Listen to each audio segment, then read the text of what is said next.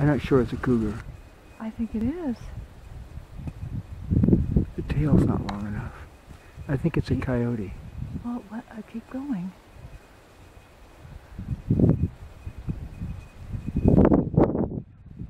Boy, I don't have my. It's uh, a fox. Yeah.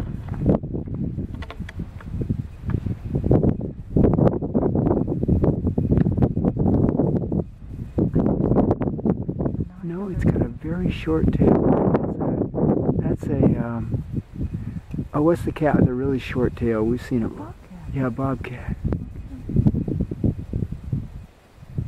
Yeah, the way it was slinking, it looked more feline than uh.